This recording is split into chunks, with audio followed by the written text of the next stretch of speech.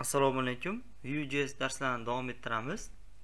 Bugungi darsimizda sizlar bilan Vue.jsda komponentlar haqida gaplashamiz. Biz sayt yaratishimizdan oldin saytimizni taxminiy planini yaratib olamiz.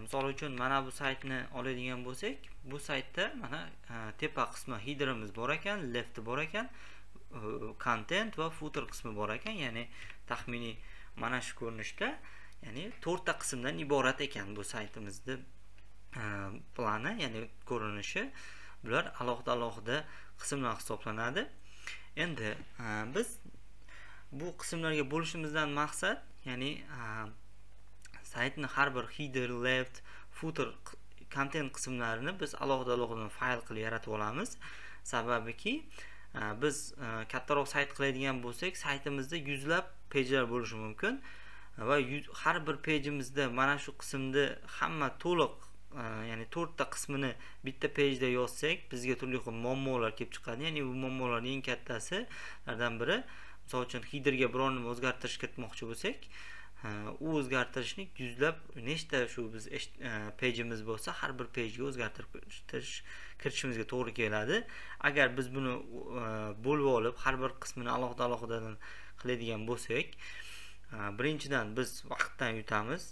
Ikkinchidan bu ya'ni kompaktniy bo'lingan qism hisoblanadi. Biz bitta misol uchun header qismida o'zgartirish qilsak biz barcha pejlarimizda shu o'zgarishlarni ko'rishimiz mumkin. Ya'ni biz har bir qismni alohida alohidadan qilib shu yasayotgan kontentimizga biz chaqirib qo'yamiz. Endi taxminiy nazariy qismi shunaqa bo'ladi. Ya'ni biz saytni yaratish jarayonida Vue.jsda xuddi shu jarayonlarni amalga oshirish uchun biz mana e, komponentdan foydalanamiz.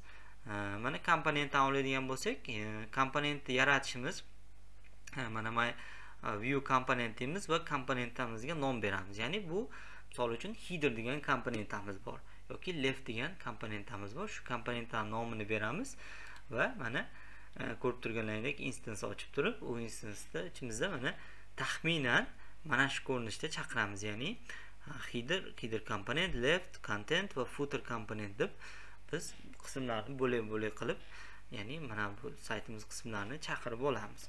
Endi biz e, xudo xohlasa darslarimizni oxirida bitta amaliy mashg'ulot qilamiz. Shu mashg'ulotda bitta saytni e, yasaymiz. O'sha saytni yasash jarayonida qismlarga bo'lib kontent header qilib e, yasab chiqamiz. Endi asosiy darsimizga qaytsak ya'ni komponentlarni ishlashini o'rganib chiqsak xo'sh mana bizni html pejimiz va bu yerda mana javascript.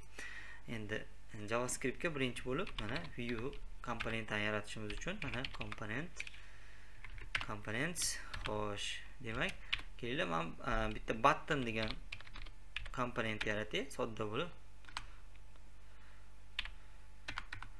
xo'sh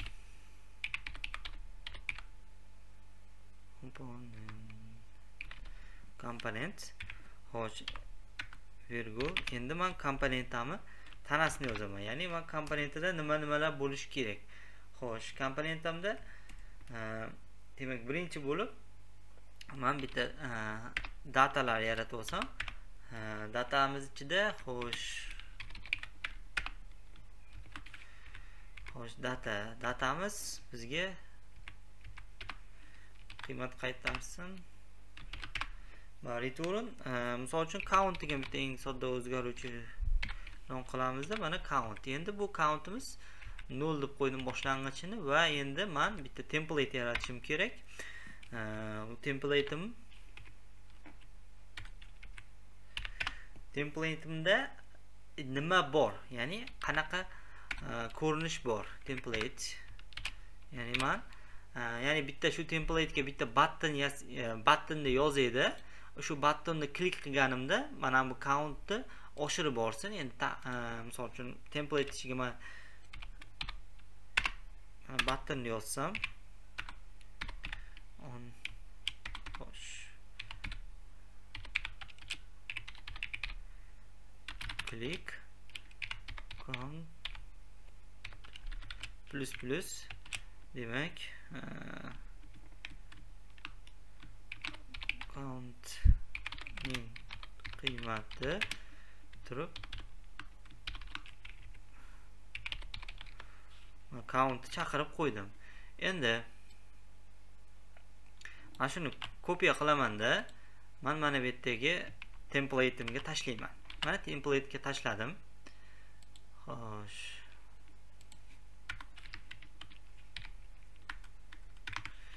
Template ichiga tashladim ko'rib turganlaringdek ya'ni mana bu button komponent degan komponentani chaqirsam bu qanday chaqiriladi? Button. Xo'sh mana shuni kopiya qilib olsam. Button komponenti button komponentani chaqirsam manga bu mana bu komponentani chaqirib va mana bu template'ni ichidagi mana bu html kodni dagi html kodni yozilgan mana buttonni menga ko'rsatib beradi. Xo'sh man endi mana buni ishga tushiraman. Xo'sh ishga tushirishim uchun mana open live server qilaman.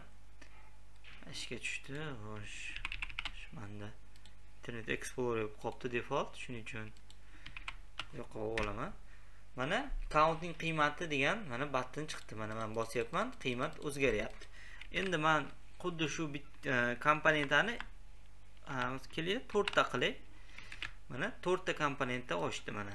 Alohida alohidadan to'rtta komponent. Ya'ni bu e, buttonimizdagi har bir klik qilganimizdagi count qiymati o'ziga tegishli bo'lyapti. Mana ko'rib turganlaringdek bitta komponentda e, boshqa komponentaga ta'sir qilmayapti.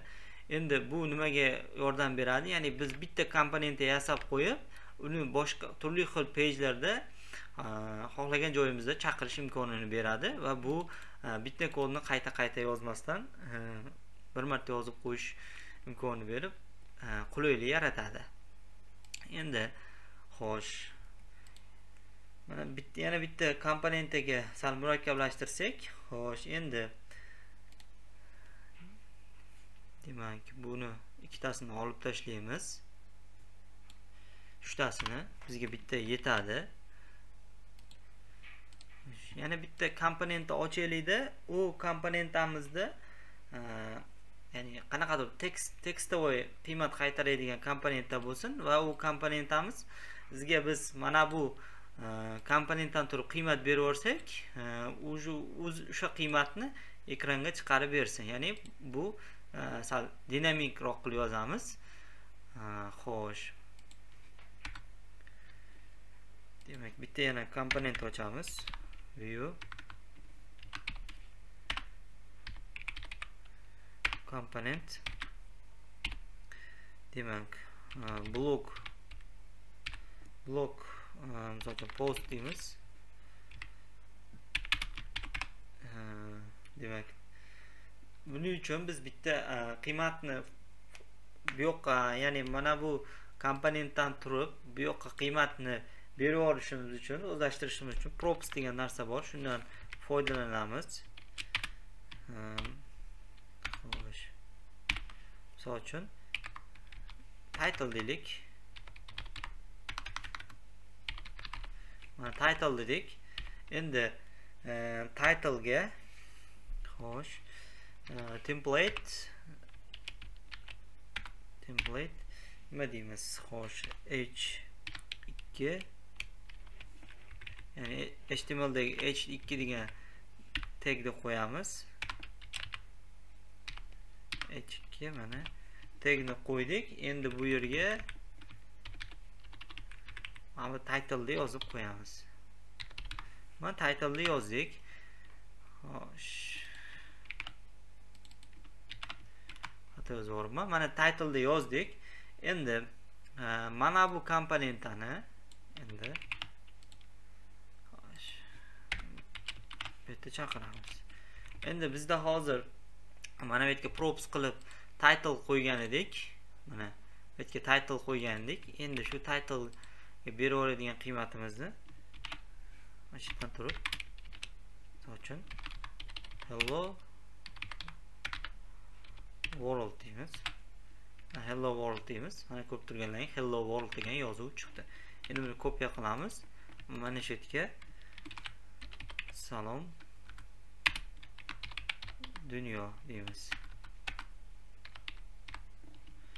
salom dunyo dedik mana salom dunyo chiqdi xo'sh demak buni e, ko'paytirib ketsak bo'laveradi xohlagancha ya'ni e, ko'rib turganlaringdek biz birontadan bitta joydan turib e, title berib yuboryapmizda va bu title mana avtomat mana bu yerga o'zi avtomat chiqarib mana bu yerda bergan html kodimiz bo'yicha qiymatlarni chiqarib berib ketyapti.